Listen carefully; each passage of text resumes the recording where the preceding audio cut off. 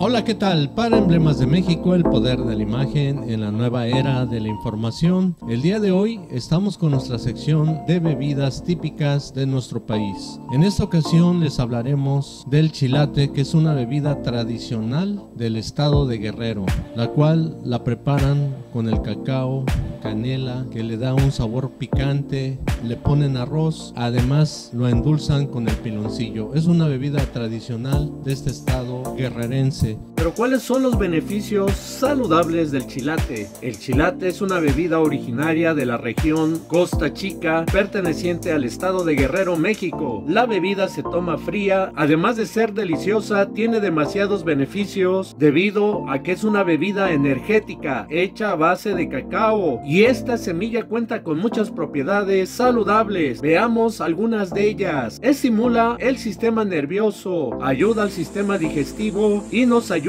con el estreñimiento, gracias a que cuenta con ciertas sustancias que llegan al colon y favorece nuestro sistema digestivo. Es bueno para la piel debido a que es antioxidante, ayuda a tu piel si es que la tienes grasa o cuentas con espinillas, además de que es también suavizante también el cacao aumenta la circulación sanguínea, aumenta los niveles de resistencia y energía y por ello tu vigor sexual. Aprovecha los ácidos grasos omega 3, aprovecha una fuerte de vitaminas, tiamina y ácido fólico. Contiene antioxidantes que retardan el envejecimiento, contribuye a un funcionamiento cognitivo adecuado en personas adultas, mantiene la presión arterial normal, permite relajar los músculos, reduce el colesterol malo, entre muchos beneficios que contiene esta bebida chilate. Quiero hacer una probada a esta bebida tradicional típica y los invito para que ustedes consuman nuestros productos mexicanos.